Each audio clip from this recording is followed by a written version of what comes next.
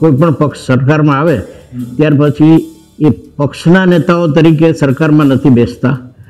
પ્રજાના પ્ર- પ્રતિનિધિ તરીકે સરકારમાં બેસે છે ને એ સરકારે પ્રજાહિત જોવાનું છે. આજે ભારત દેશના વિકાસની જ્યારે વાત કરીએ તો આપણે ઉત્તરોત્તર જે છેલ્લા પાંચ વર્ષથી આપણે જોઈ રહ્યા છીએ કે ડે બાય ડે વિકાસ, ડેવલપમેન્ટ થઈ રહ્યું છે.